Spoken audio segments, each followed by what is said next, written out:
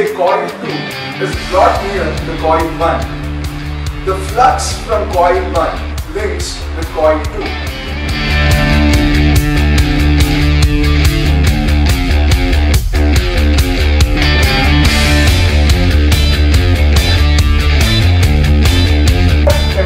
of V1 is equal to I1 R1 or I R1 and in the second resistor we have a voltage drop